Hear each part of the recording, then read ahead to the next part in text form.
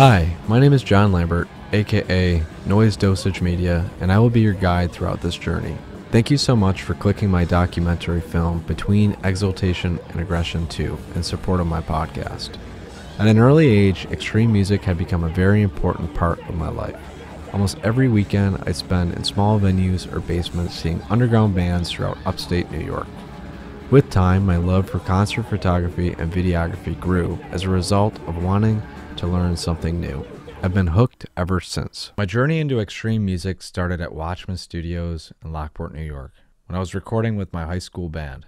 This enabled me to go to underground shows and witness Anthropic, the legendary underground grindcore band. I hope this footage will offer insight into the events that form my love for this style of music. Yeah, let's, let, let's lay a pass with that. I didn't like the one. It's fine. Yeah, no, I, I, uh, I just want to hear how much ring we got going. Yep. Like I like a little, Oh, yeah. just trying not to St. Anger it.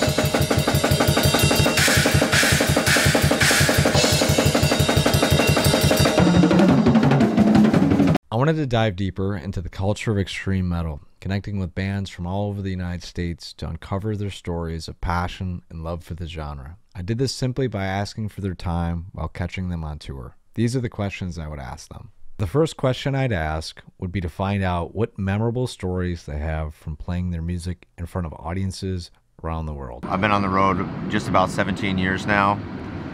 And it is a trip, I'll say that, because as much as you kind of think you have it figured out, like you know, hey, this is what happens on tour, this is what it feels like, somehow you can still get new experiences. Just when you think you've seen it all, somehow something new still happens, you know? Um, and s- specifically on this tour, you know, we're doing the 15 years for our first record. And that's kind of a trip because I remember when we were performing these songs for the first time, and to kind of go back to them, it's almost like a bit of a time warp because, you know, it just kind of feels like very, like almost uh, like we went full circle. It is a lot of the same repetition. You know, you're waking up in a new city every day. You got to figure it out every day. The room sounds different every day. You know, the audience is a little different every day. So I, I think what it really is is you, it's just kind of you got to be ready for anything, even the stuff you expect and the stuff you don't expect. So we're doing this bunch of international shows all back to back. It's like going to be like a six week run all together. And we leave LA, we fly to Amsterdam, it's an 11 hour flight. Amsterdam down to South Africa, Johannesburg, another 11 hour flight. We play a festival down there in South Africa. And then we're going to St. Petersburg, Russia, which is completely different hemisphere, like different continent, all the way at the top, you know? And so it's this insane flight out of South Africa to Dubai to Germany and then to St. Petersburg, Russia. It was like two days of flying. Okay, so everything goes on the plane. We leave, uh, we leave South Africa and we're headed to Russia. We get to Russia two days later. All these crazy flights. Half the gear didn't make it. We have to play two weeks worth of tours with half of our gear in Russia because it's stuck in Germany and it's not getting into Russia because there's a customs holdup. So what we had to do was we we had we had two different tunings in our set. So thankfully we had one set of tunings with us and then the other one was not there. But what we had to do was completely switch the setup. Like like pick all different songs because we're only in this one tuning. Like kind of figure those songs out again. We weren't planning on playing them or we hadn't played them in a long time or you're picking songs you don't normally play but you need to for the tuning to make a full set. That was a big obstacle, you know, because we're totally changing our set. We're not even really performing the songs on the record we're touring on because the guitars in that tuning didn't show up. It's just stuff like that. It kind of goes back to that expect anything and everything, you know.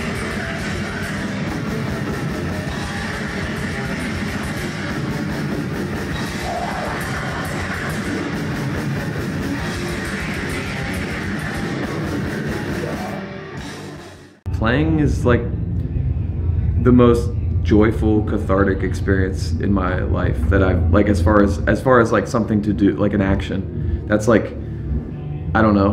Um, most of touring kind of sucks. Like traveling I mean it's then there's a novelty for traveling for sure but it sucks being away from your family and it sucks being away and like being tired and uncomfortable and in weird places. Um, but like the 30 or 40 minutes that we play has been like from the moment I played my first show it's like all I wanted to do um, I think I started playing shows when I was like 13 or something, and uh, I quit every other hobby I had. Like I quit Boy Scouts and band and all kind and orchestra and all that shit, which is kind of silly. I shouldn't have quit all that stuff, but all I wanted to do was play shows. That's it. So every weekend I could, when I had a band that played shows, I would play shows every weekend. And when I graduated high school, I booked my first tour for my first band, and we toured like did the, this horrible nine-day tour around PA in Ohio, and uh, it was the best time ever. And then you know I just figured out how to keep touring. Three days ago, uh, this kid, actually I don't know if it was a kid, three days ago we were playing in Chicago and um, two songs in, I just saw something fly onto the stage. I thought it was a beer can and it was a dead gutted rat. Someone threw it on stage and it landed on Spencer's pedals and shit and guts went all over his set list and his pedals and he kicked the rat. And uh, we never figured out who did the rat but I was holding the rat up showing people and it's kind of sad. Back in 2015, some crusty kids were hitching up to Deathfest and we were playing Nashville and they showed up at the show and they had a kidney in a bag and they traded us a kidney for a t-shirt. Pretty weird.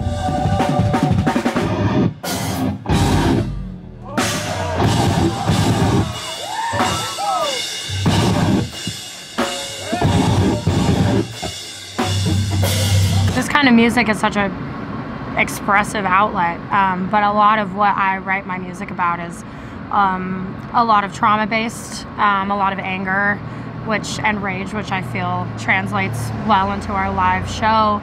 So um, I think that it's for me just um, a really great way to kind of cope with the things that I've written about and um, process the things that I've written about. You know, there were uh, like fragments for a bitter memory, for example that title track was it's about a topic I've been meaning to write about for a long time, but it's kind of stuff that was all buried up. And so being able to talk about it and normalize those words and hearing how other people relate, like, you know, and that's part of why I do this is just because I feel so embraced by the community and other people, and that's what always attracted me to heavy music. We were on tour with The Devil Wears Prada and Stray from the Path, and um, I had written a song called Until Morning Comes about the passing of my cousin who died in a tragic accident. And um, it was also the same week that uh, Riley Gale from Power Trip had passed away.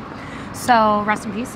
I had kind of written this song about uh, my mourning and the collective mourning of you know people within our um, community. And um, actually, the anniversary of his death, we were playing Mesa, and I had a mom and her son come up to me and tell me that uh, their dad and husband had passed away Um, and that was a really emotional moment. I was on the verge of tears, and we hugged, and um, stuff like that happens a lot. People share their stories and are really vulnerable with me. For them to come up and approach me that day specifically about that song on the anniversary of my cousin's death was that I wrote the song about was like I felt like that was meant to happen in a way, you know, an extra piece of closure.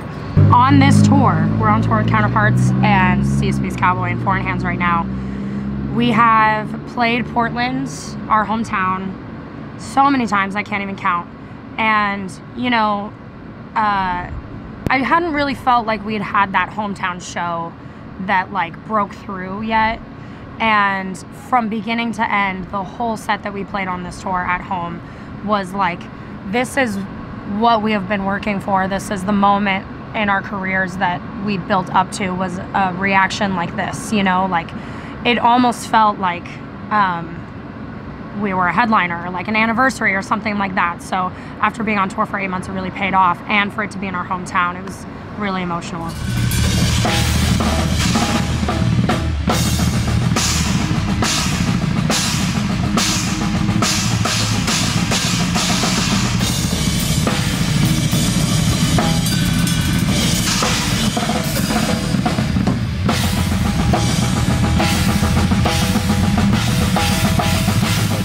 The feeling is more so much like uh, it's like a sense of validation you know? And you you know you work forever on these songs to the point where you hate them mixing mastering all that bullshit. And then you um, you bored of them. And then playing them live with your band to a crowd that likes that song is such an affirming moment where you just feel so uh, like the magic of the song comes back to life and you're just like i'm in you know eastern europe right now thousands of miles from home playing for people that know my tunes. Like what a what a what a cool sensation. Just- it's not the major seven chords i'm playing. It's the fact that we're communicating with our instruments is the real jazz part of what we do. Yeah. it's the conversation that we have, the flux and uh, oscillation of tempo and energy, that's what is really makes us stand out from the other metal bands. And I have nothing against people that play to a click track or any of that stuff, but I would never want to do that. It sounds so stressful, and it doesn't sound that that fun for me at least. Like what I enjoy is listening to the band and you know we have a conversation we talk to each other we can't communicate with our mouths because we have fucking masks on so the only way we can uh, express anything to each other is with our instruments. Goddamn suit. Gotta get a tailor. You see, all across this great nation, good, law abiding, devil worshiping Satanists are being persecuted the hands of Bible thumpers, and I can't take it any longer! No, no. This epidemic has even affected this here band. Take Noah, for example. I caught you, motherfucker, praying the rosary and going to church twice on Sundays.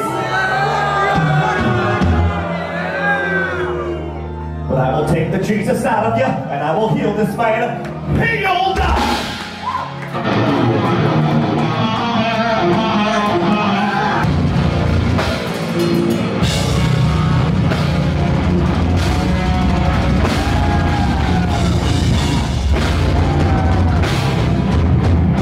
came up with this really stupid bit where we all dress like Spider-Man.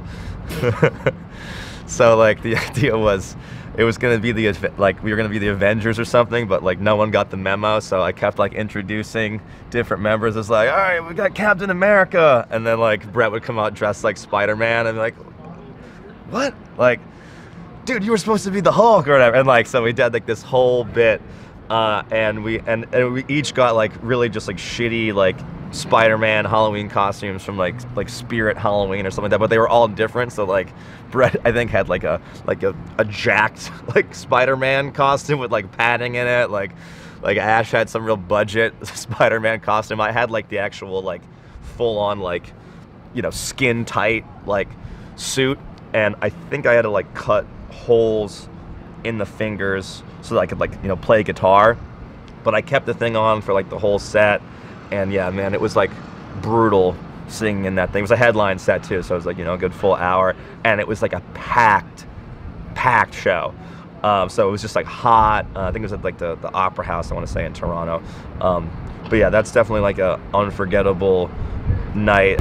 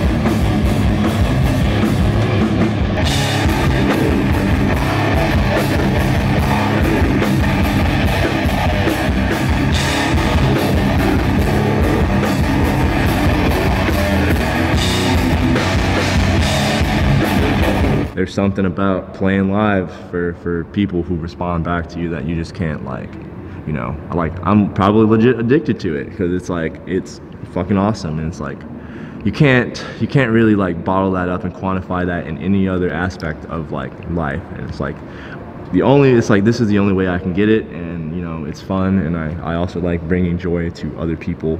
And know music does that. I, I, I've talked to other people who play different styles of music, and they, you know, they tell me the same thing. I have a homie who's a, he's in a rap group, and he's like, "Yo, it's like I like." He told me, he's like, "Dude, I understand like why you do Creeping Death and why you even play in, in local hardcore bands and local bands like just for fun, like around town.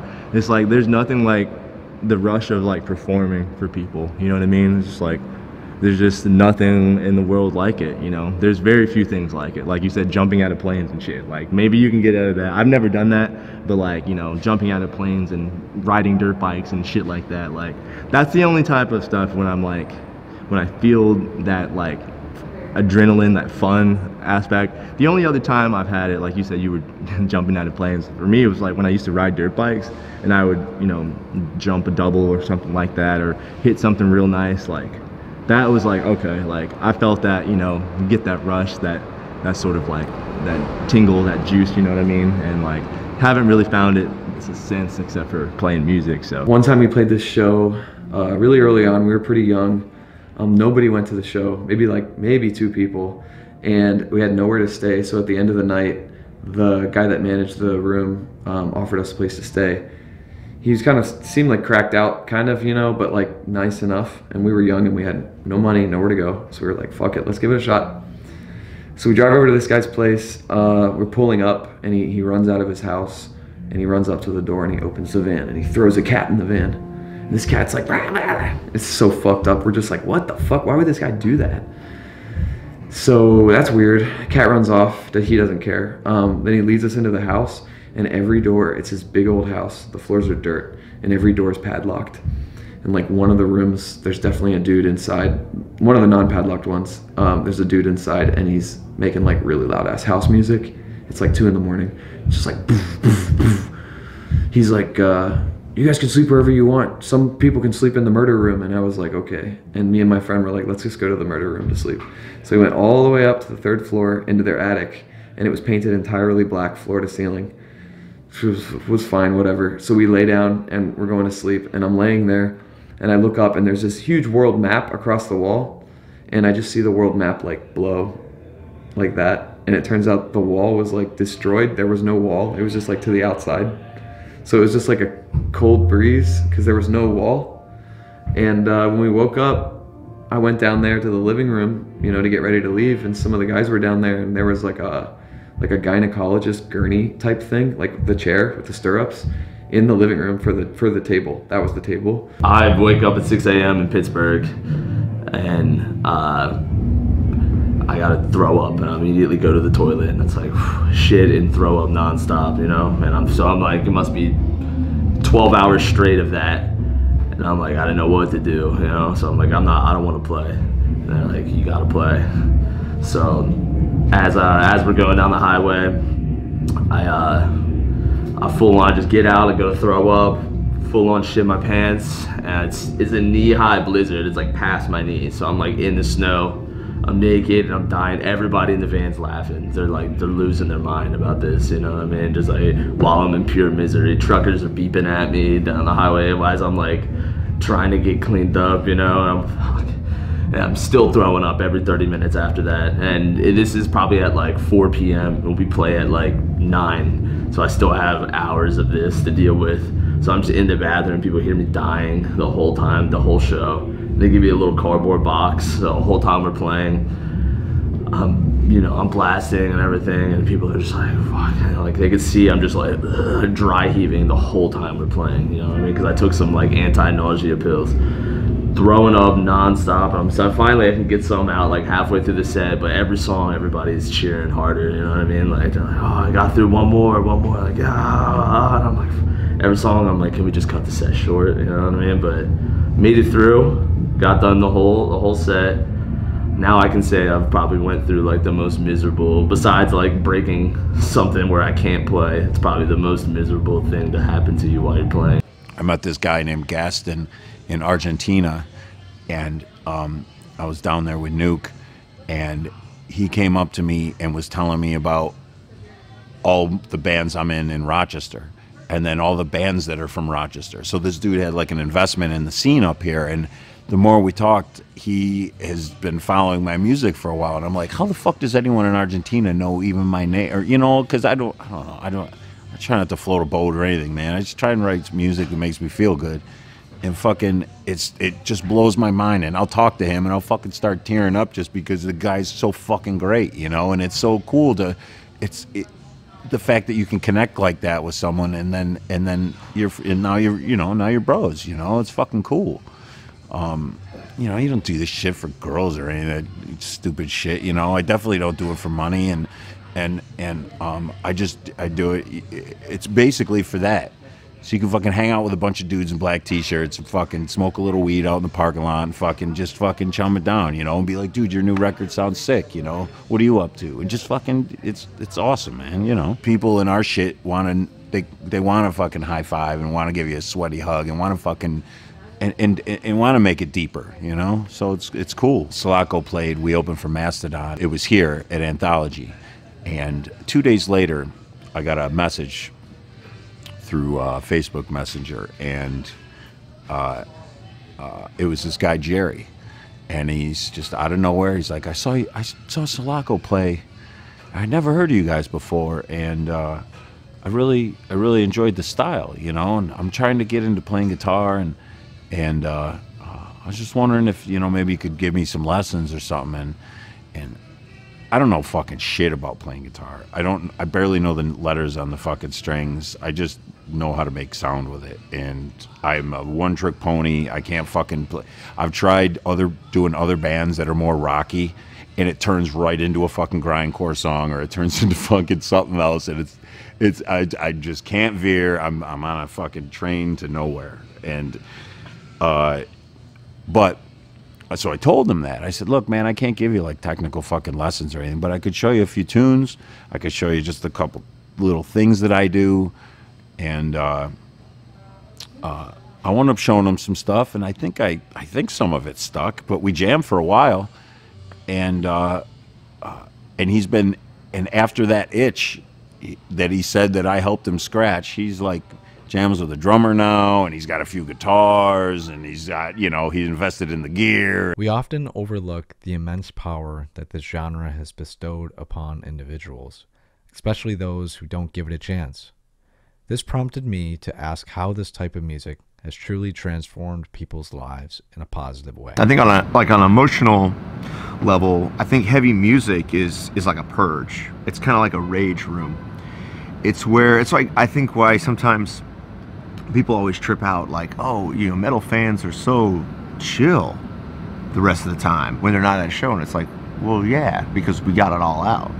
That's why we're chills. We just we're screaming our asses off for an hour, like so. Now it's all good.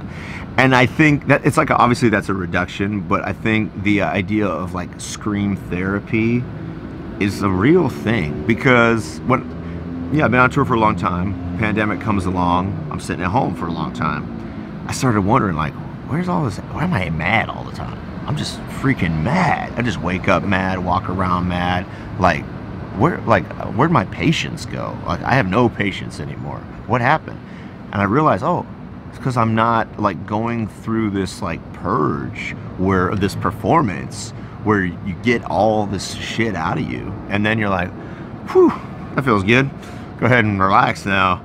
And I really think that's what was going on because now that we've been back on the road for a few months, we're about a year now, last September, um, I like feel back to myself again. And I really think it's like, I think that heavy music is an outlet for, you know, all the, all the shit you got bouncing around up here that, that makes you uncomfortable, you know, makes you anxious, all that stuff. So I would say that's one thing I've noticed about it, but also like purpose, you know, for me. Like I was really didn't know necessarily what I was gonna where I was gonna end up. Like I was it was basically I was at the point where the job I was working wasn't you know I was driving trucks. Uh, we're hauling asphalt, doing roads. Um, and I live in Southern California, so there's like a lot of building happening all the time. So we're just doing road construction all the time. And I was a kind of a dead end job for me. You're basically just holding the steering wheel, hauling asphalt. And so it was kind of like, well, I'm either gonna join the military or like try to go back to school maybe, but I don't even know what I want to go for. And then the band happened. So I think it gave me like a real sense of purpose, and it's why Sean and I like took it so serious. We're like, he'd been in so many bands that never went anywhere. So did I. I felt like, well, this is my last shot right here. Like, I'm gonna try it, and if if it doesn't go, then oh well. Like, how many times can you try? So we took it super serious, and I think it, that sense of purpose was very good for us. Like, kept us focused, kept us on the road. Like, we matured a lot. You know, you got to run a business now, right? How much money do we make? What's it cost to get you to the next show? What's it cost to eat? What's the hotel cost? Like, we all grew up real fast, like having to figure that stuff out. And so I think it just gave us experience, purpose. Um, obviously, the fans, everybody we've met, lifesavers for me, you know, took away that loneliness. So, yeah, everything.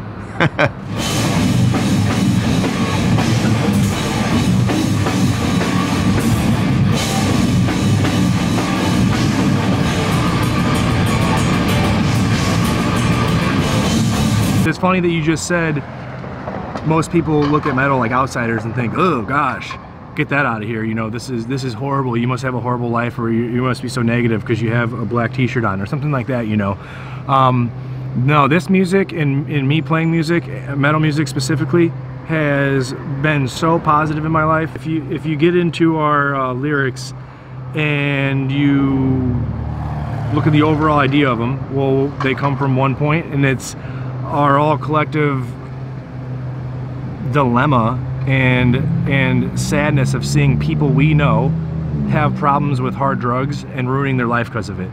Um, you know, it hasn't happened to us specifically, but the effects of other people having that happen to them affects everyone they know.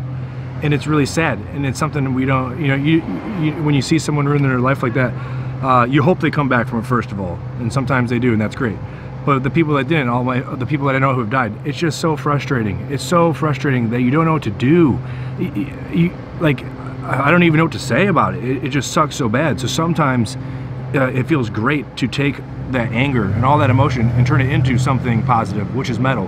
Now it sounds harsh as hell. You show it to an average person, you, you tell them to listen to Determined to Rot or something like that. They're gonna say, "Oh, what the hell is this?" You know but it, it, that's the whole point. Uh, you take all that how bad you feel about something and turn it into something else. And that's that's where metal comes for us for me. And uh, that is so positive because it takes a horrible negative situation and somehow transforms it even in a small way to something that's more positive. So and I know they don't like really outweigh each other or whatever, but still that that's the bottom line. I think that helps us out a lot. And then another thing too is uh, if we ever mention that at shows or we talk to fans about that, if someone finds it out and they have the same problems in their life, they really appreciate hearing our approach on it and we connect over that. And uh, oh man, it just gives me goosebumps. all my friends in the world pretty much my wife who i met at a show uh, like it, it, it pays my bills you know pretty much now. Um, and it exposes me to other mediums. Like i've met artists that paint and videographers and like just tons of talented people in other ways. And I've, it just exposes me. It's it's allowed me to travel all over the world. Um, so culturally it's given me a lot. Um, I don't know. It's also like the most important thing I think is that like I think human beings have this like really serious innate pull a lot of times to like want what they don't have, like what's on the other side of the fence, and they think like, you know, you just you, I think you're just naturally curious and you naturally think like, well, that might be better, but this band allows me to like travel all over and see how experiences are the same all over the world. And like the only real difference for me personally, just you know, I'm, I'm not saying this is like a blanket statement, but for me personally, the only difference is like the people that I like care about a lot. You know, they live in Pennsylvania. I don't want to leave Pennsylvania. I'm cool with living in the middle of fucking nowhere because I've seen cities and I get to see stuff and like it's no different, you know. So I don't know. It's made me like grateful for my home too. Like the balance allows me to appreciate both. Because I also think you can't have like a I think a constant regular kind of like leads you to like a malaise, you know? You just kind of like that episode of SpongeBob where Squidward goes to the Squid Village. It's a full-on release, like any tension that's in in me or anything like that. So to me, it's it's it's changed my life and for the better. Because who knows what the hell I'd be doing if it wasn't for this. You know what I mean? It's and I think it comes to the music at the same time because I this is all I have in my life and it's all I want to do. You know what I mean? I have like a full on tunnel vision of like, I just want to play music nonstop forever. This song goes out my friend Ryan. It's about killing your abusive ex. I'd say I have two chapters. Um, the first chapter is me discovering heavy music and being a kid and going to shows and I moved around a lot so you know I didn't always have a lot of friends or really felt like I belonged because I was constantly in motion. Um, but once I started going to um, specifically hardcore shows when I was a kid I was like wow you know like these people are just like me. We're all a bunch of weirdos. We're all a bunch of outcasts you know? And um, so that that sense of belonging was like my first chapter of what makes this so special to me. And the second chapter is when I started a band. And I'd always wanted to make music. Um, I've sang my whole life, but there's just something about this kind of music that just really resonates with me and um, I think is really special. And um, so starting a band was like my second phase where I was like, okay, not only do I belong in this space, but I want to create here as well. You know, there's tons of people who are, you know, people who grew up in the hardcore scene working in the music industry for bigger names and stuff like that. And um, just by booking small hardcore shows, I'd found my way into working at a venue as a production manager and eventually a buyer. So um, that's that second avenue that you had mentioned. Like, you know, once hardcore is just like this really awesome smaller community, but it really opens up a lot of opportunities and, um, you know, paths for people like me to pursue a career in music. Beyond being a musician, I think I'm an artist, which is like the douchiest thing anyone could say, but in truth, it is uh, how I feel. And I think as an artist, I just need like a creative outlet, and it can be any avenue an artist wants. But for me, like I really felt like I wanted to do death metal or whatever genre you want to call us, and I really connect with that, and I like, enjoy the exploration, a creative opportunity, and so it brings me that, which is you know, as any artist or musician will tell you, like they have that internal uh, voice telling them to make something. You you got to make something. You know, you don't just want to go to work so you can come back and chill and like live a great life. I mean, I'm from New York, man. I could have worked on Wall Street if I wanted. That's what I mean. It would have been fine, but that would I that would kill me. You know I mean? That would fucking kill me. And I don't. Yeah, so I was just you know, very often you, you can think like, oh, I would make so much more money doing this, that, but instead I have to make something. I gotta create. So death metal is my outlet.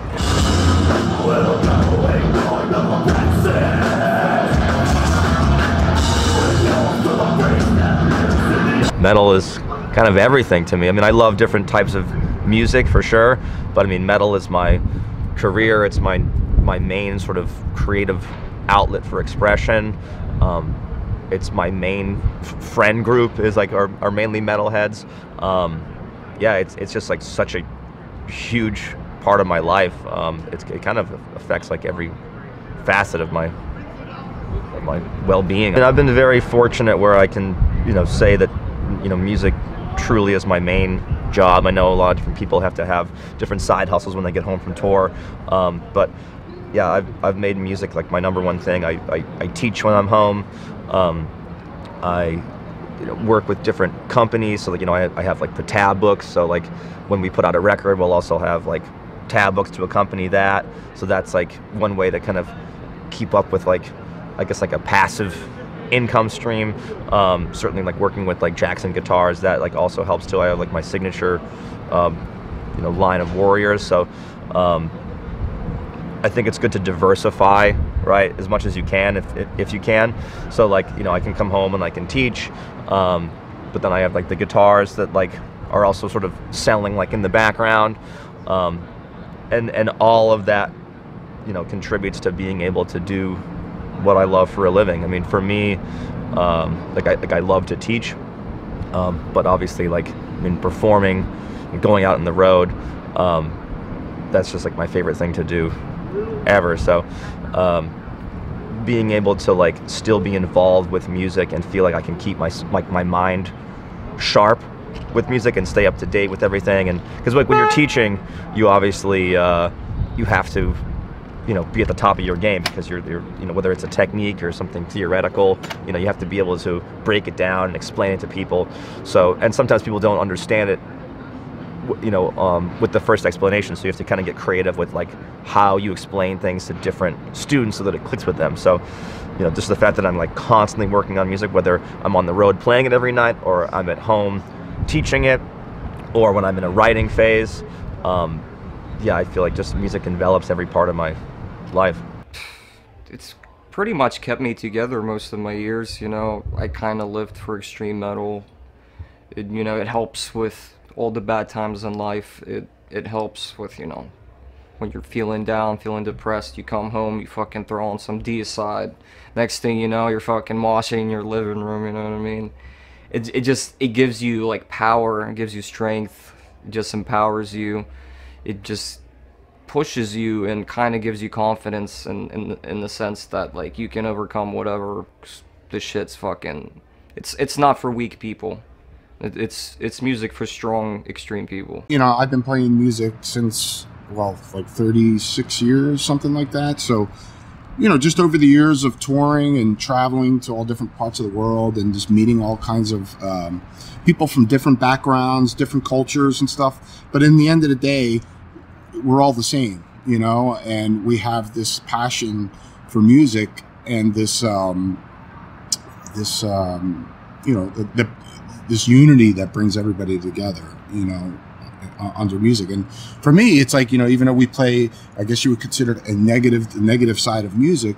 For me, it's a very positive force um, that you know brings a lot of hope to a lot of people. So that's one of the things that uh, it's it's a very unifying force. You know, through music, I've met some of my closest friends. You know, I have friends all over the world that I, you know, I've been friends with since the '80s. You know, from tape trading and stuff like that, and and uh, you know, some of the greatest people you can ever meet. You know, and um, for me, that's just like the biggest blessing out of um, you know playing music. You know, um, is just meeting all the amazing people that I've met over the years and the long-lasting friendships that, you know that I've made. Um, you know, because um, it's it's it's sometimes difficult to find people that are like-minded and um, kind of free spirits, you know. And I think that's the thing about uh, music in general, whatever genre of music that you play, is that we are kind of like um, the truth seekers in a sense, you know, and looking for the truth and looking for some, some answers out there. And, uh, you know, so I think uh, that's one of the amazing things is just all the amazing people that I've connected with over the years. Now, there are obviously some things you need to consider before jumping into a serious tour heavy band. I wanted to examine the mindset of how simple it is to hit it big in the music industry. yeah, it's so easy. In fact, it's so easy that I was like, you know what, this time I want to challenge. Let me switch it up to death metal because I'm, I'm just killing it too much. There's too many zeros in, in my bank account right now. I need to mix it up. Give me a challenge. All right, let's do death metal. You're definitely not gonna get a lot of girls in this genre, but I think there's definitely way worse, harder genres to like really do something in. You know, there are bands that are making money and, and making a career in this genre, you know? So that's something worth noting and it's something that's valuable. So it's possible. There are definitely genres of music that it's not possible, or it's just too niche.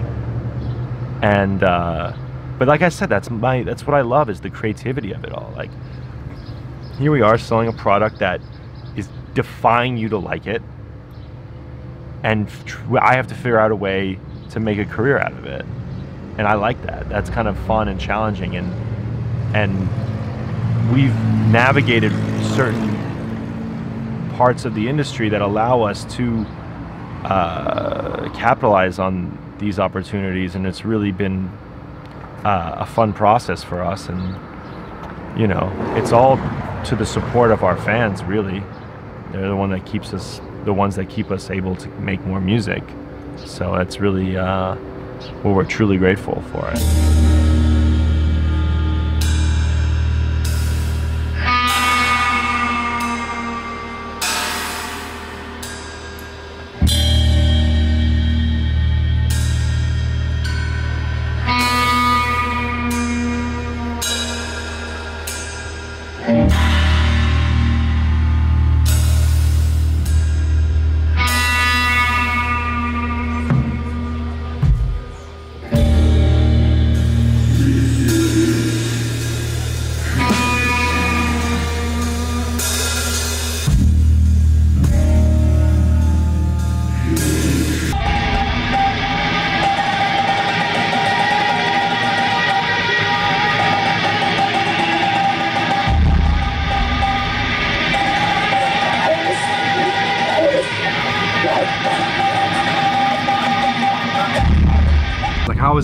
Band? Not good. Um, it's almost like you wonder, like, like you have normal people ask you, uh, "Oh, you're going to New York City? Whoa! Oh my gosh! Uh, you're like, how much are you gonna make?" That's the first thing, and you're like, "Oh, well, if we're lucky on." On just getting to pay to play and selling merchandise and all, and all those things together and albums and whatnot, if we can get all three of those very well like executed, then we can maybe break even on going there and coming back and getting some good pizza and stuff like that. They're like, what? What the hell? You know, they're thinking of like Bob Seger going somewhere and having a nice uh, hotel and getting paid like hundreds of thousands of dollars.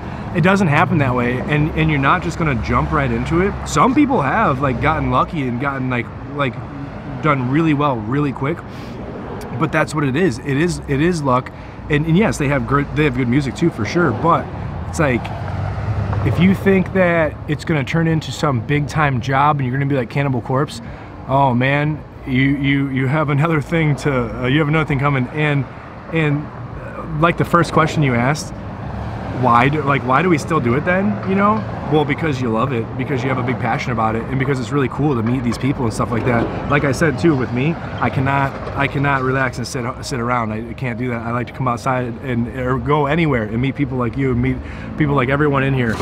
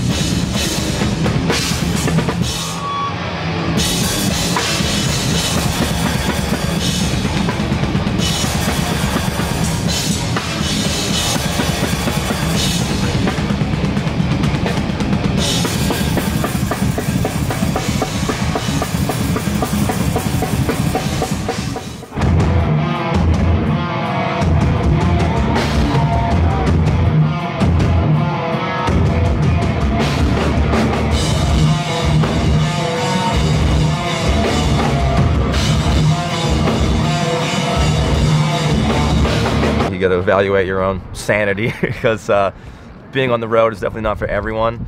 Um, I mean, it, it's it's hard. It's it's long drives. It's you know, you're only on stage for, especially if you're first starting out. I mean, you're probably going to only be on stage for a half hour uh, at a time. So I mean, your whole day leads up to that one half hour, 40 minute moment, and everything else is, you know, being in the van, loading in the gear, driving for hours on end on no sleep to get to the next city. So, you know, you, you definitely have to make sure that it's it's for you.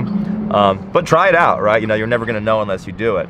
Um, you gotta, in, in, terms of more like practical things, like gotta evaluate your finances. Like, so, you know, you don't want to be like on tour in the middle of the tour and like you run out of dough. Um, so, if if, uh, if you got to go home and work those overtime shifts or just hustle that much harder, like work on the weekends, like, you know, have a nice little nest egg set aside so that, uh, you know, you don't have to call uh, mommy and daddy for, for dough when you're out on the road and you're and you're broke and you you know down to your last packet of ramen. Um, but hey, if you got rich parents, that's that's even better. you, know, you don't have to worry about it. uh, I didn't have that luxury, but uh, my, my, my family was always supportive of me, which is which was nice.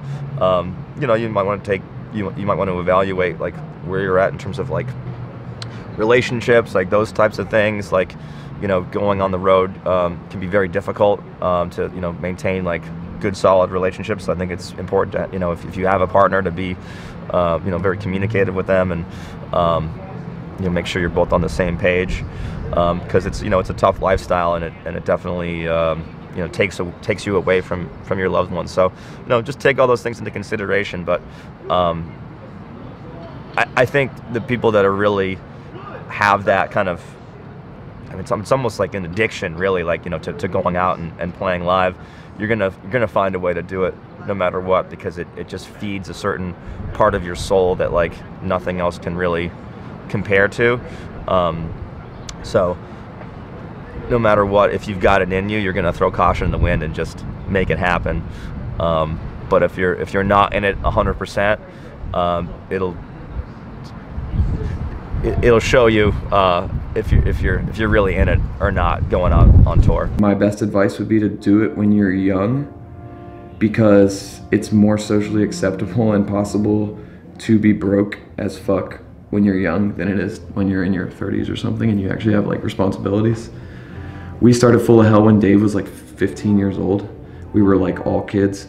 Uh, I was like 19, Spencer was 19. Um, but you know, I was like a fresh college dropout uh, you know, and it was possible for me and, and, us and all of us to, to survive because, you know, we were just like losers living at home, working like simple jobs when we got home and it wasn't as big of a deal. But it took like years and years and years and like we just loved it so much that every step of the process was amazing for us at the time. And like I would say that's really important too. I always get really confused if I talk to someone that's like so goal oriented that they're looking at this destination and I just like I just like it's an illusion you know what I mean? So I think it's important to it, love it even if it gives you nothing but the opportunity to play.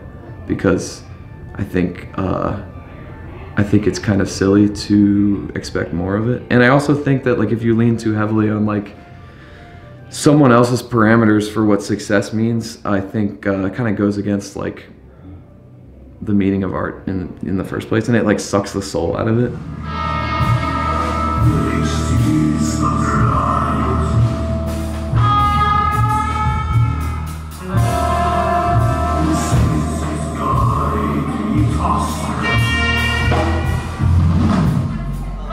It's easy as an artist to get, you know, uh, bogged down or feel feel pressure or stress about what you're doing. But like what I mentioned, the validation of playing for people feels keeps you going.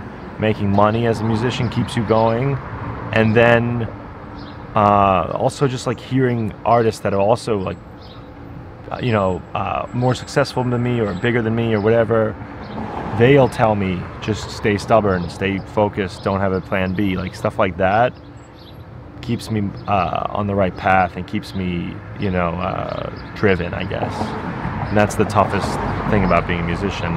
You want to torture yourself in order to make something. If someone wants to leave your band, are you committed enough to find a replacement? Or are you just fold? You know, there's stuff like that. My lineup's not the original lineup, but I didn't quit. And it's that's that's tough. So anyone that is able to keep moving, I think is important.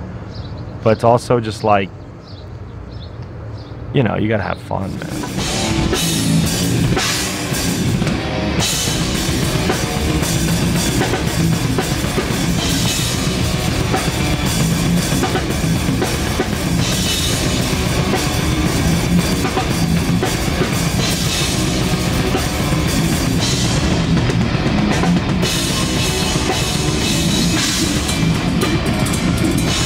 And I'll never be the type of band that says like, "Oh, geez, uh, there's no stage," or, or even worse, "Oh, the stage is only this big," uh, or, or even worse, "Oh, there's no monitors," or even worse, uh, uh, "Oh, it's that PA." You know, fuck it. Uh, give me the shittiest stuff. As long as we have somewhere to plug in that's not going to electrocute me, which does happen a lot, and we still play. Uh, so that's you know that's where we are with that. As- As long as we have um, a good place to just get together and have some music and and and, and uh, see some music with our friends. That's all you need. And that's another thing too. If there's any uh, young bands out there that I'm pretty sure everyone knows how things work now with the internet and stuff, but it, it- you know, uh, sometimes I hear people say like, how, "How did you get into this venue in Toledo where we live?" And I say, "Well, uh, just just just." First of all, go meet the people, say hi, shake their hand, you know, but also play some shows. I- i- If you're having a tough time getting an answer back from somewhere, make your own show, and then the same place is going to say, "Oh, cool! I see these guys are playing shows. I'll have them play here." You know, this is how it goes. So it's clear the process isn't easy, but what is the most fulfilling part of doing things all DIY with your band? Here's the thing with the with the music industry, it's easy to lose control of your band. You know, and I think that happens to a lot of bands. Um, and you know, we, we never did. We we've always like really kept it. Uh, I mean, DIY is the dumbest thing to say, but it, yeah, we, we are doing it ourselves. You know, it's like uh, we do our own accounting. I, we manage ourselves. We work directly with our merch printing company. We hire our own crew. Like they're people we know. It's not management just flying people in, which is very common. Um, you know, we we write all of our songs. You know what I mean? We don't write with ghostwriters or producers or people who aren't in the band, which is also very common. You know, um, so I would say, you know, it's just it's been a very real expression of art. That's why every record's a little bit different. There's a way around it, and you can hold it in your own hands the whole way. I think it's just like that's going to be so much more meaningful, especially because like like I was saying, like this shit's not real. Like no band lasts forever. No band stays good forever. Like it's gonna end. You're gonna die. You might as well do it the right way.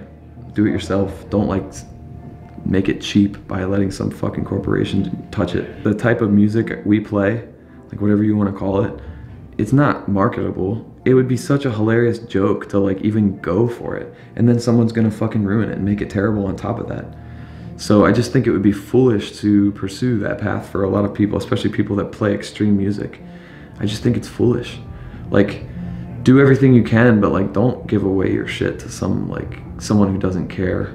Don't allow like people that aren't passionate, at least to a degree, you know, um, work with you. I, I don't like working with people. I don't like trying to convince people to work with us. I don't like, I don't know. I just don't like the anonymity of it. I like to work with our friends. So, and we've made compromises over the years, working with people that we don't know, and you know that's how you make new friends. But I don't know. As time goes on and we get older, I just see that like there's probably a lot more inherent value, you know, monetarily and you know spiritually to keeping it in house.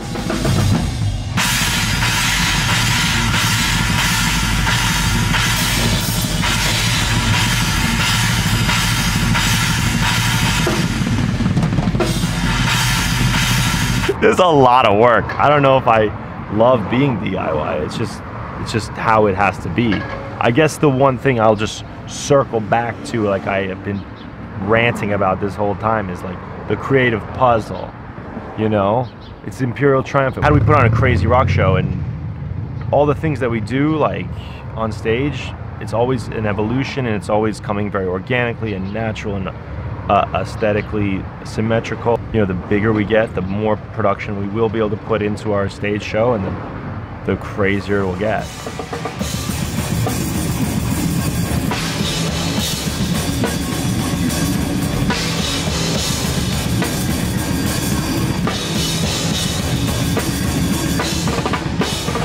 if you really like to do something, there's there's two ways of looking at it too. There's some people that are like, that's all I want to do. That's all I'm meant for. I have to do this. Okay, well then you have to really get your your your shit together so that you can do it. You can't only just focus on that, or else everything else will fall apart. You won't have anywhere to live. You won't be able to buy a microphone. You can't buy a guitar. You know, um, that would make it hard if you don't have your stuff together. Now, and, and we talked about how the reward's not very high money wise, but the reward of like just the in life is great is really high so if you start dedicating a lot of time and effort to something and you keep going and you keep persisting through the hard times and breaking down and all that stuff it will get better and it does get better because people notice and people appreciate it. And that's all it really takes. The main thing is to get in front of someone. And to get in front of them like i said you have to have a vehicle you have to have gear you have to have all that stuff. And then the time to be able to write the songs the time to have connections to get to be able to meet the promoters all that stuff. So even though it's kind of funny looking back on it and, and you say like oh it's it's hard it's this and that it's still worth it. And if someone really wants to do it you have to be smart about it and it will happen. I believe that this kind of music is supposed to be the antithesis to what normal societal culture is like. And, you know, our society is very corporate. And I think that it's really cool when you do things without Live Nation and you do things without Ticketmaster and you can just do it on your own based off of the work of a community as a whole um, without any bullshit. I've just always been like a hands-on kind of dude when it comes to this band. Like I I like to reach out to the artists to you know get album covers and explain my ideas, or even just for like T-shirts. Like you know I'll reach out and have a very specific idea in mind. Maybe it's inspired by a song. Like I just like enjoy doing that, and I think I'm obviously I'm going to be able to explain my vision like way better than like a band manager or something like that. Even with music videos too, like um, you know coming up with like kind of like a general concept and like bringing that to like a, a, video director and kind of hashing it out directly rather than going through like a middleman. I feel like I can just get to where I need to go like a little bit quicker. At the start of this movie, I wanted to explore why this music connects so deeply with me and many other people. For me, it has always been a place of comfort and connection, allowing me to form meaningful relationships and express my feelings. I wanted to take a closer look into why this music means so much to me and many others. I wonder if our shared personalities or similar upbringings created these strong connections. Deeper exploration was necessary to find out what ties us all together. Yeah, I mean, I was a huge loner. You know, I spent all, like, 90% of my time I spent by myself. And so I think that's probably where the creativity came from, because I had to keep myself occupied. Um, and you know, my, my parents both worked, uh, you know, quite a bit, so it would just be me and my sister at the house after school. So it's pretty quiet. You know what I mean? My sister was old, six years older than me, so she's doing her thing. Um, so it's it seemed like I just kind of spent a lot of it living in my head, so to speak, uh, riding my bike around the neighborhood. Uh, and I think that's probably where like the ability of like, oh, I can come up with an idea, and that'll be fun so, you know, I would like build bike tracks all around like the neighborhood because we kind of lived out where there weren't very many houses, like a lot of open fields. So I'd like, you know, draw a bike track and then I'd like ride out there and I'd like start digging it with my shovel and stuff like that. And I, I used to do, um, you know, like, you know, my mom's a teacher her whole life. So everything was really like, academic based for us. So if I wanted to like see a movie or something like that, I had to write a report on it, you know, kind of one for you, one for me situation. And so I think creative writing was sort of implanted in that and just kind of realizing that just because it's writing doesn't mean it's boring if you're writing about something that interests you, you know, or, or however it relates to what's interesting to you. And so I think from that, um, I don't know, when I really started getting into music, I just absorbed all the artwork, the lyrics, the layouts, like what the band members looked like, obviously there was no socials back then, so I didn't. There's no like personal. You're not seeing into their personal lives at all. Just seeing what you see at the show or on in the magazines or on MTV. Um, like I really was into grunge like right when I started listening to music. So you know I was like 12 years old, and it was like uh, STP. You know Scott Weiland was like my favorite vocalist. I just thought he was the best. You know Alice in Chains. Um, loved Alice. I still love Alice in Chains. Um, you know Pearl Jam. Uh, Soundgarden, Chris Cornell, man, what a front man, right? So those were kind of that was like my first introduction to like what maybe a live musician is, you know? And I think I was really interested by like the grunge frontman and even like uh, Zack De La Rocha from Rage, you know, Rage was really big back then. I mean, there was a bunch of vocalists, you know, um, the guy from Sublime, he was always like in interviews and stuff like that. And obviously Kurt Cobain, you know, I remember when he died and what a like, you know, like what a shock that was to so many people and stuff. So I think it was just all those things sort of implanted in my mind that like musicians are kind of these cultural figures that a lot of people pay attention to, especially with where MTV was in the mid 90s. Was just like really all about just celebrating these bands, you know.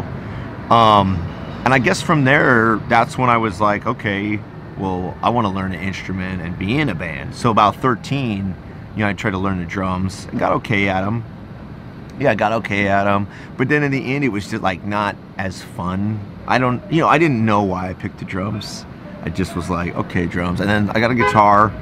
Never really got good at guitar. Um, you know, and then it was really just when I started writing and screaming, I, I guess I kind of excelled at that because of, like a lot of people that I was trying to write music with were like, oh, I don't want to have to talk to anybody. I was like, oh, okay, well, whatever. I don't get to talk to anybody, so sure, I'll I'll talk to people. I don't care. And so I kind of just ended up as a vocalist, you know, because I think I wasn't really that great at drums, wasn't really that great at guitar, and then the other people didn't want to be on the mic, so I kind of like ended up there, you know. And I guess I, I enjoyed it. I, I still remember the first show I ever played. Um, it's probably like you know four people in the crowd. It was basically like a open stage night at like a neighborhood church you know, and it wasn't, we weren't there because it was a church. It was just like on Wednesday nights between, you know, 7 and 8, you just sign your band up and you can like play for 15 minutes and there's people in the room. You know, you know, it's like really, I'm 13 years old, for I'm very young, you know. So it was kind of like a, a teen center, community center type thing. And I remember we, you know, we played and people watched and, and there was, you know, like kind of headbanged or like moved around and I don't know, it seemed pretty fun, you know? And like the thing afterwards, people came up and talked to you afterwards. And I think that was something that was pretty different for me was because nobody really ever talked to me before. So I think I kind of, you start realizing like, oh, people are interested in musicians, you know, and stuff like that. So I think on a subconscious level, that desire to get attention just and not be so isolated was really kind of something that you know became interesting to like oh okay, I guess I'm a screamer now. I was always a really sweet kid. Um, we moved a lot when I was younger. Um, so I'd probably gone to about five or six different schools by the time we ended up um, where I ended up going to high school and graduating. So I wasn't always really good at um, maintaining friends. I, so at a certain point, I just kind of became a loner. I read a lot of books, um, but then I discovered MySpace and I had, you know, I was very active on MySpace the summer that I moved to a new city, and um, so I, I was definitely a little shy. I would still say I'm shy now. Very goofy. Um, always loved music. I've been, always been very obsessive about music, um, and I love sports as well. Um, I would say I'm pretty much the same person. I'm just a lot more confident now? I come from like a crazy family, kind of, you know, like at least like uh, a lot of like crime and bad things in my family and stuff like that. So I think maybe growing up, I'd be slightly uh, reserved and scared a lot of times, just in you know what I mean? It's kind of one of those things where there's something going on in every corner of your house, you know what I mean? People just doing crazy shit. You know, um, a lot of like you know just just pure crime, drugs and stuff like that. But my parents were cool. My parents were cool. My dad's like an old outlaw, but my parents were sick. You know, so for me growing up, I'd say I was probably like more reserved and you know at a certain point there's like probably like 14 15 I, I started touring in full of effect when i was 15 my first tour and i lied to my parents and didn't tell them i told them i was going they told me no and i was like okay so i just left and a week later they called me and they're like where are you at? And i'm like i'm in texas you know and they're like pissed you know but best decision i made obviously. But uh you know, I will say that's probably that's like the the breaking point of my life. Maybe I think where things were different. I'm more outgoing and stuff like that. When I was in elementary school, we had a fake band called Satan's Penis. We didn't play instruments or anything, but we thought it was like super evil and cool sounding. So I mean, I always was into bands. My parents are super into music. Um, my personality was the same as it is now. I'm trying. I try to be less obnoxious because I was always like a class clown, and I can never shut up I still am like that. So, I mean, quieter maybe, but the same as I was when I was a little kid. i am living in an environment, uh, personally and professionally, where I'm afforded the opportunity to just be who I am. And, uh, you know, it, when you like receive gratitude or when you receive like um, good praise for your art or whatever, it like lifts you up, like self esteem wise. And I think everybody in the band has like owes a lot of their self esteem and you know ego because everybody's got ego to this this thing that's given so much to us. So when you're confident i think you're like more in your own shoes you know and you act like yourself. I've never felt a pull to act like anybody else. I think i'm a little bit uh i guess I, am a little bit of the weird one in the way where um and it's this is kind of new to me too. I, I mean I've, I've been the same my entire life so that, so me, me, uh, you know, how I act is nothing new. But sometimes people say like, man, you don't ever uh, slow down, you don't ever stop and stuff like that. And uh, that's been me my whole life. Um, that's definitely my personality. I like to do thing a lot of things. I do not like to stop. I don't like to chill. I don't like to take breaks. Uh, um, my friends made up a good slogan. Says if I chill, I'll die. no relaxing. That's why I like being in a band too. That's why I think my personality is perfect for at least this band because I really like to get things done. I like to just play a bunch, write a bunch, uh, work on stuff a lot. And, and, yeah, and another thing for my personality with the band, we do practice a whole lot, uh, like a couple times a week, uh, a minimum one time a week, usually two to three times a week. And that's just me, I love it. Uh, and like I was telling you when we were setting this stuff up, um, I try to go to shows almost every day, uh, bouncing back and forth between metal shows that I go to a whole lot and jazz shows. I play jazz too. That's a side note thing. And uh, um, you know, with, with going to those two genres, I can find a show every single day. I think I was I was outgoing, but I can also be shy. I guess it just depends on the the situation.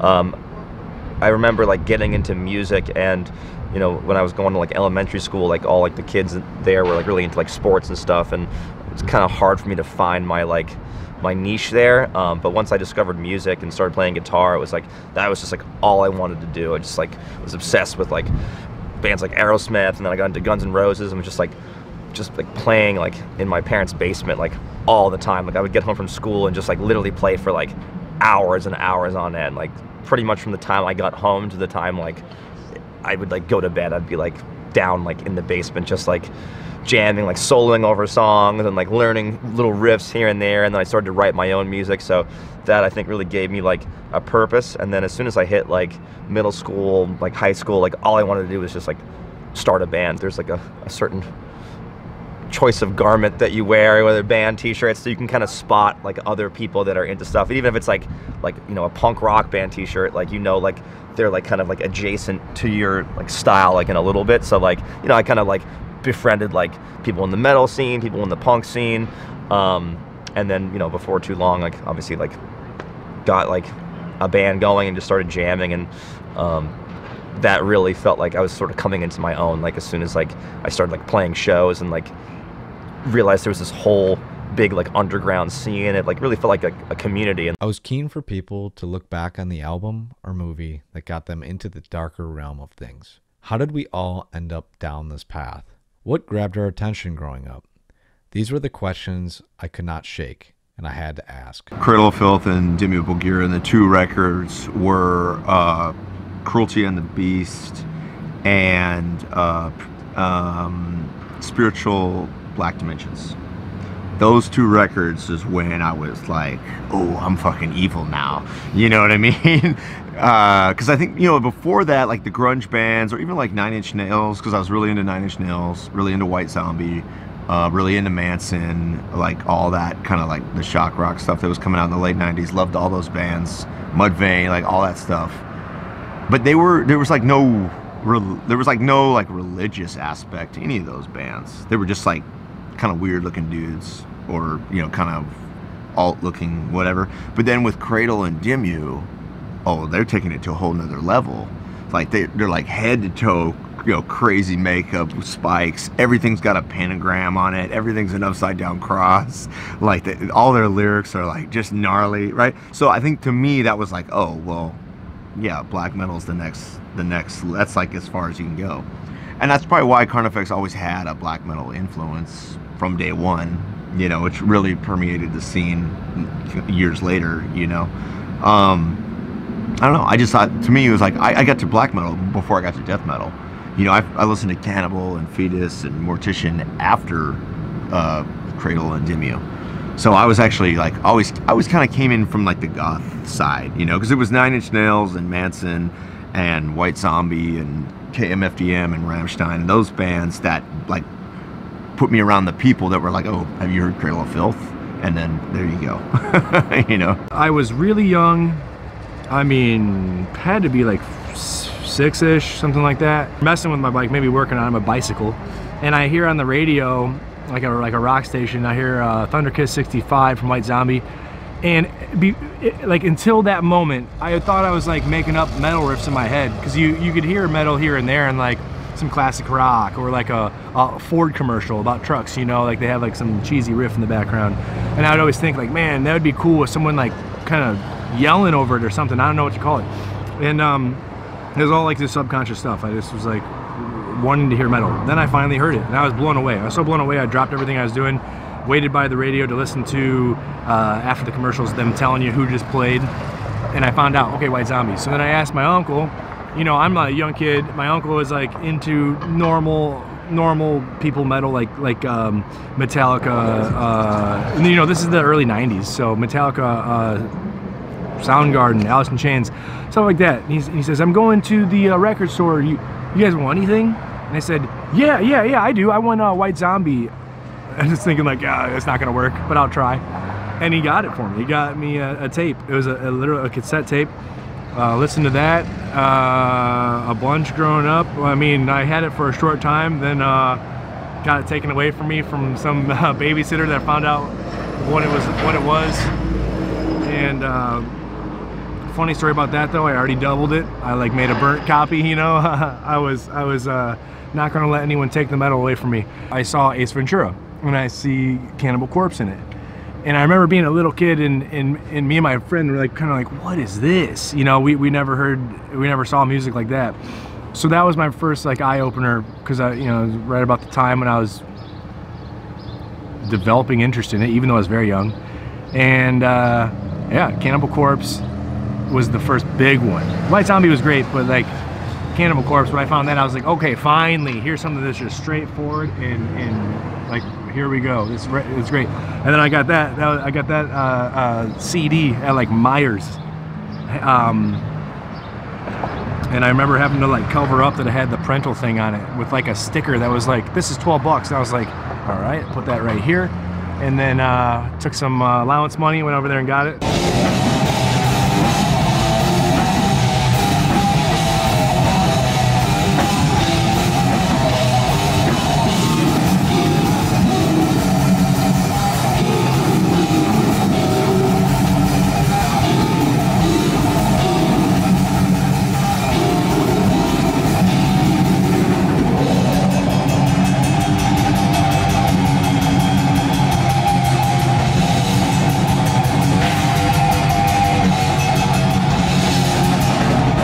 Hearing Black Sabbath, Black Sabbath for the first time at like 3 a.m. at like a sleepover when I was like a little kid, and it was scaring me. and like getting goosebumps from it. Uh, and I uh, really liked that, and I think that was like a very early moment of being about metal and horror. What does Ozzy mean to you? Uh, I love Ozzy. I've always loved Ozzy. Uh, like uh, his solo stuff, Black, he's the best in Black Sabbath, and I, I've always loved his like just his antics, and you know, I, when I was younger, I'd always be watching like documentaries about just all that stuff and reading about it. And I used to have an Ozzy shirt that on the back had. Uh, like a bat flying away with Ozzy's head like decapitated on it, uh, and it was one of my favorite shirts. Uh, so Ozzy means a lot to me. so I remember picking up Cannibal Corpse Bloodthirst. Uh, I mean, the album cover is just like so intense. I mean, all of Cannibal's albums are like super gory, uh, but that one just like seemed like just like so brutal and over the top. It had this like crazy creature on it, like ripping this guy apart. I always loved horror movies as a kid. Like when I went to like, this is like I'm dating myself now, but like Blockbuster, right? Like I would like like as a young child, I would like beg my mom to rent me horror movies, like just based off of like the the uh, VHS covers. She's like, "No, David, you're gonna get nightmares." And I would like, like we couldn't leave Blockbuster without me like renting like like a Nightmare on Elm Street or like if you know Friday the 13th movie or whatever. I would just like there was something about like the, the covers of those horror movies that I was just like super into like as like a young kid. Um, so I think that like definitely like translates to like my my love of metal, maybe like what got me into metal in the first place, right? It's like I don't know, it's even like food, right? Like you eat with your eyes first, they say, right? So you know, you look at like an album cover, um, and it just like draws you in. I mean, I remember being in like record stores, like even before I was like really getting into death metal, and I remember seeing like the name Cannibal Corpse and pulling out like the Butchered at Birth CD and being like, this is the most fucked up thing I've ever seen. Like, what is this, right? So that makes you like want to get into it more, right? Because it's like it's like this taboo thing, or it's like, oh, you shouldn't be looking at this. It's like super gory and like fucked up. But I don't know. I guess uh, I'm just kind of like drawn to that. It like it really like kind of intrigues me and piques my interest. It doesn't have to be like over the top gory. It could it could just be like this kind of strange looking painting that makes you feel like uneasy in some way, but like you don't know why. And in some ways, that's maybe even more horrifying, right? 'Cause it's, it's maybe it's you know tugging at some part of your subconscious. I don't think I was like aware of this as a kid because you know I'm just I'm, I'm watching the movies for the imagery. Um, and the, and the music obviously is in the background to like you know make the scenes that much more tense or that much more terrifying but the, the composers on some of those horror movies from back in the day were just like just such amazing uh, writers of music like i mean it's it's you know it's halloween season right now so we have some like horror movies like on the on the bandwagon. And we were watching friday the 13th part two the other night and the soundtrack is like incredible on it. Like it's it's all symphonic like super tense super evil sounding like it almost like sounds like death metal. So i mean who knows? Maybe like listening to or or watching those movies as a kid and like listening to the soundtracks like kind of in the background maybe influence my taste in music because I love like really bizarre like tense like classical music and I wonder if like some of that came from like watching like horror movies as a kid and if my love of uh, like really dissonant fucked up death metal comes from that as well. In 1996, I listened to Jimi Hendrix, and I was like, "Yup, that's it. That's what I want to do." And then from there, you know, I got into uh, my uncle. Like a few years later, my uncle bought me a Injustice for All CD, and I was like, again, I was just like with the headphones in the Discman, and I was just like, "Yup, mm-hmm, that's right." and uh, I don't know. I guess I've always just kind of wanted to do the most extreme, like going from Hendrix to Zeppelin to Metallica, just constantly like yearning for something heavier, darker, more extreme. And then once you get into black metal and death metal and all that shit, I was like, what's more extreme? What's crazier? I want to. I want to. And, as a teenager, you're probably just like some fucking, you know, you kind of have that uh, metalhead personality where you're like, I want to pride myself on listening to the most extreme music, you know, that which is so stupid, but like that's how I was as a kid for sure, and uh, that's kind of where I like taking Imperial is like being one of the most out there fucking bands. That really kicked into gear for me, and I'm pretty sure it was 1986 when uh, Master of Puppets, Reign in Blood, and Crossover were out. And a buddy of mine, I always go to this this one thought because it was the one thing that's changed me from uh, some of the like listening to Ratt and stuff like that. You know, I was into some of the hair metal stuff, and I was into some Maiden and. Uh, uh, but when I heard uh, this mixtape that had a five-year plan, um, Angel of Death, and uh, I think it was Disposable Heroes, it just everything switched gears again. You know, it was like I still love all that other shit, but as far as what I wanted to do was like, holy fuck, this is the real shit. You know, like. And and there was a great variety of stuff in all three of those bands, you know. Like DRI had the brutal threat. Like I don't need to explain. It's just it was, it's what took me to the next part, you know. And then and then I think when with obituary and deicide a few years later, uh, I was frightened, you know, when I heard some of that shit. But I was, but I was beyond intrigued, you know. It was like I remember when I first heard deicide and Glenn Benton screaming Satan, and I didn't know shit about Satan or G or whatever and all that shit. It was ridiculous, but fucking it was the greatest thing I ever heard. And like I remember listening to it at my girlfriend's uh, house and thinking her parents probably think I'm a fucking wacko because this guy's screaming Satan, but I didn't have anything to do with that shit, you know. It's just fucking awesome, dude. I, that album is still fucking awesome. I got a chance to meet Steve too, and uh, he was fucking awesome. So it was I was having a total fanboy moment when I met him because the last time I haven't seen him play since '92 uh, in Buffalo, and that was for the Legion tour, and I got it on DV, I got it on video, and it's one of the greatest fucking live sets ever. His banter between the songs is hilarious and brutal. And he and, and his mic gets knocked into his face, and he fucking freaks out. And his hair goes crazy, and he's like, "Bring that fucker to me!" And it's like the greatest thing. I got the best samples, man. I get it's it's oh it's it's fucking priceless, dude. We had a local band in my hometown that was like, kind of like pretty extreme. It sounded like Cryptopsy, maybe like Fetus, kind of. And of course, like a little metalcore, like every local band of that era. But uh, it was pretty extreme shit. That really opened my mind. But at that show, this other band played called Robinson, and they were like pretty much just like, you know, just a 10 minute set of just blasting. You know, it was pretty like extreme, especially at 14 in a gym where it's just like, it was so sick. And it was like everything I wanted in music, you know, because I was into punk and I was into some death metal and stuff, but like, you know, pretty middle of the lane stuff. That was so extreme to me at the time. Um, that was a big one. And like film wise, I don't know. I guess lately I was thinking again about this movie Begotten. It's like a 1990s like kind of cult sort of horror film about killing God. Um, that was like pretty impactful. I thought that was pretty crazy shit.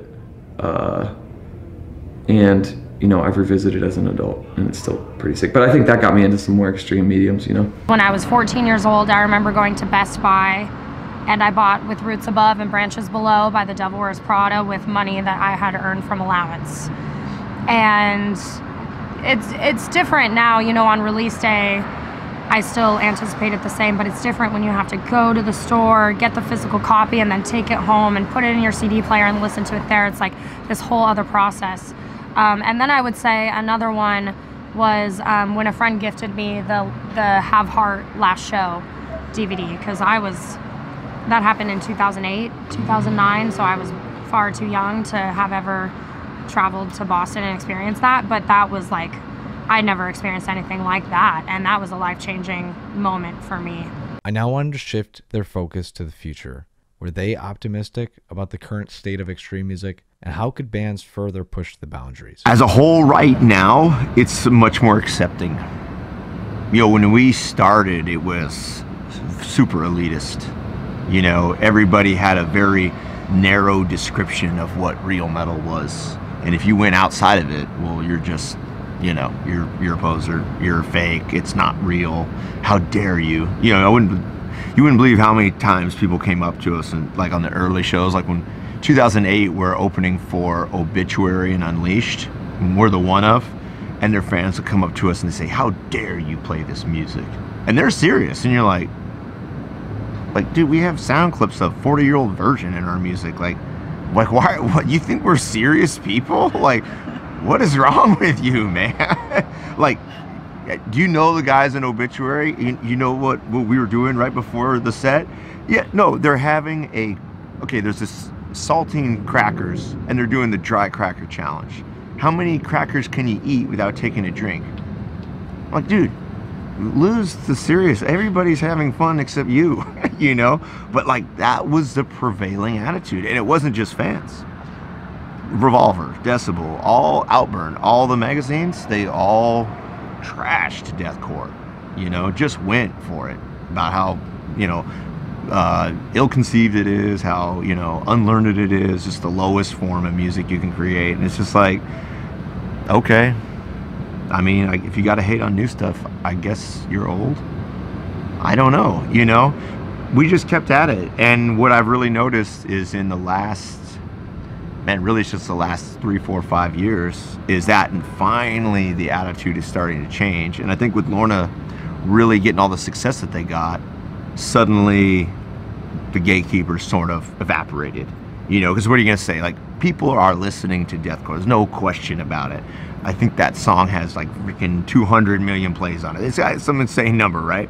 People are listening. So you can't say it's not music anymore, right? And I think it took, fuck, it took 17 years before those gatekeepers finally had to eat their words. And it's like, yeah, deathcore is a real genre. Suck it. You know, I like that, that. That was the reality, and they just didn't want to accept that for so long. And we got a lot of that hate because we were always like the freaks of deathcore. You know, we were always trying to do something a little different. You know, add this, add that, add the theatrical aspect, add the black metal stuff. Obviously, that took off with everybody, and it's like, yeah, that's the whole point of being a musician. Original artwork, right? Or, a, or are we supposed to start a band that sounds like a band from 20 years ago? Because that's not very original to me. Original is, hey, what if I take this kind of music and this kind of music and put them together? Oh, there you go. You got something new. The trajectory of metal is the same if you look at the timeline as jazz and classical music, where it starts off simple with a lot of rules. People start getting faster and faster. Then they start getting more atonal and dissonant because they can't get any faster. It happened with classical, it happened with jazz, it's currently happening with death metal, where people literally can't play any faster. So where do you go? You could go slower, but then soon you'll be too slow.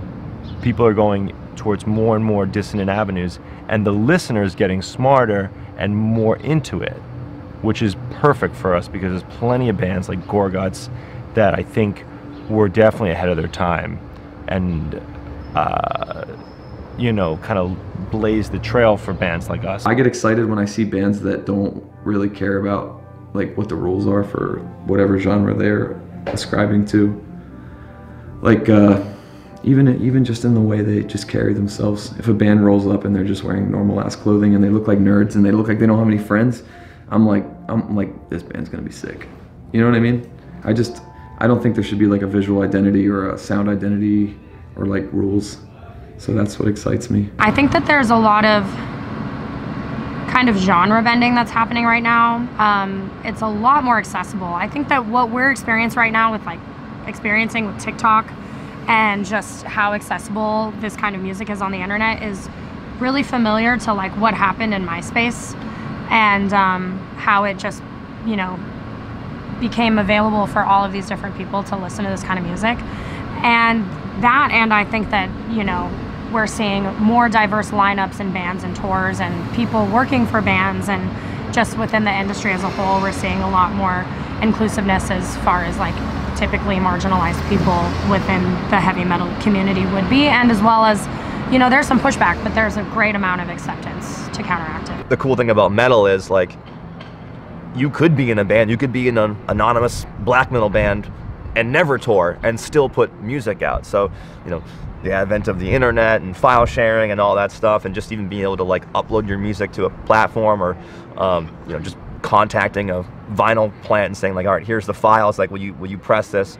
Um, you can get your music out there and, and never have to tour. I mean, I think there's some people maybe they're just inherently shy or they're just like maybe they've toured in the past and they're over it. They've kind of fallen out of love with it. You know, their their back hurts or whatever. Like I want my I want to sleep in my bed every night.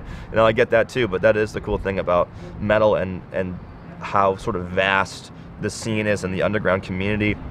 You can have your self-expression and, and, and have your like creative unique voice and put that out there to the world and you might have like a huge underground following in a specific genre and never play a single show in your entire life. Wow, you can, you know, really like collaborate with kind of whoever if they have like the, the technology and I, I think that is probably only gonna, you know, continue more like as everyone just kind of comes on board with that more and more and as DAWs become easier to use and I mean it seems like now like if you don't have like a interface and like some type of Pro Tools or Logic or whatever like you're like living in the Stone Age.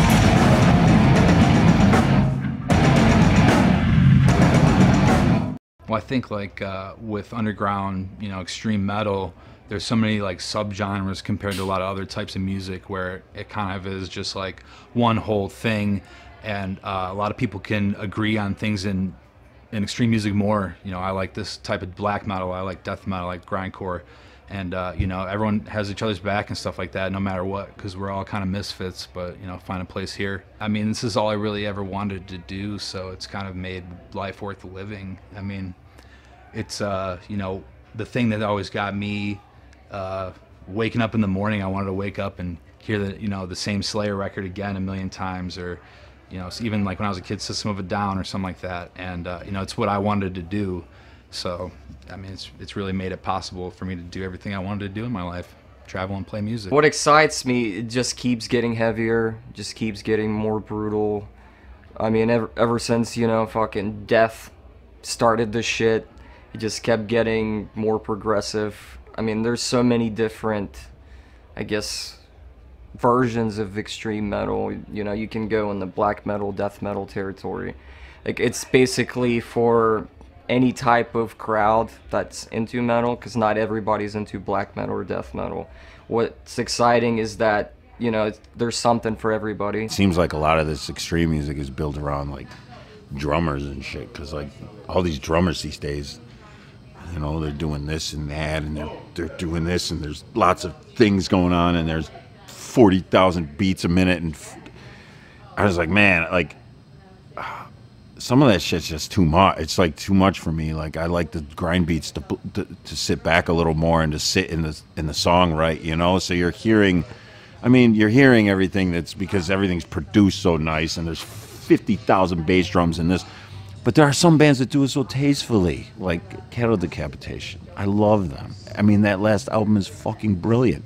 So it's like, I feel like that is like almost the pinnacle of as extreme as like I would want it.